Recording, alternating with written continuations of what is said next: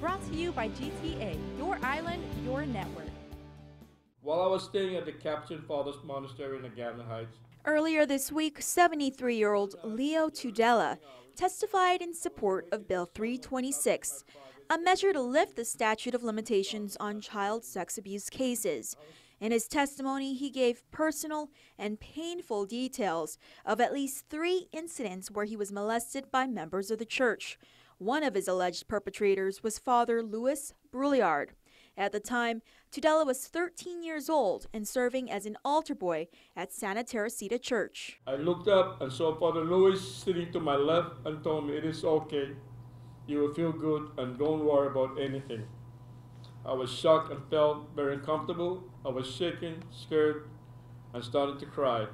I was totally, totally embarrassed and ashamed of what Father Louis was doing to me.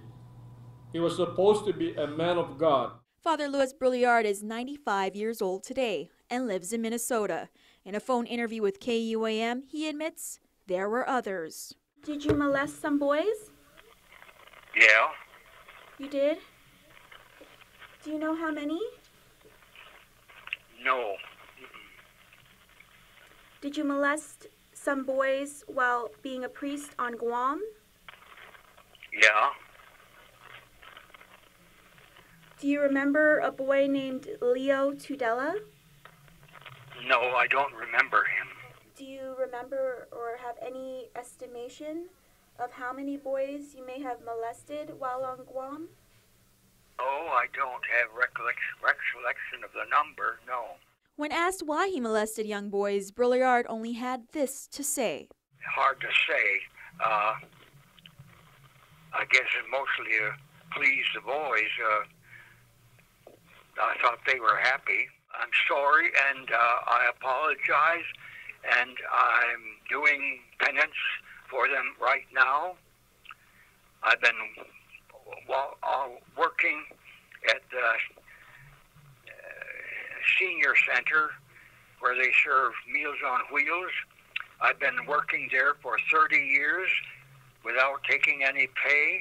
I work there every day, and uh, I, I I take no pay for doing it, for I they do that in reparation for my sins. I'm sorry that it happened, and I should never allowed myself to to uh, the opportunity or the time for such things. It happened long ago, and and uh, time has not healed me. I'm sorry that it ever happened. While Brouillard says he's paying for his sins today, the Archdiocese of Agana continues to cut a check out in his name every month, even after he was removed from the Diocese of Duluth. Do you still receive a paycheck from Guam? Yes, How much? five hundred and fifty dollars every month. Do you think your penance is enough for the boys to forgive you? I don't think so. I can never repay all that I've done. In a press release issued late Thursday afternoon, the Archdiocese of Agana stated, quote, It is the practice and policy of the Catholic Church to care for its incardinated priests who were retired through pension funds, even if they reside outside the diocese. The Archdiocese of Agana confirms Father Brouillard receives a monthly pension. In his efforts to learn more about the situation, Archbishop Savio Hon Tai-Fai has directed the Archdiocese to write the Bishop of the Diocese of Duluth in Minnesota, where Father Brouillard now resides. End quote.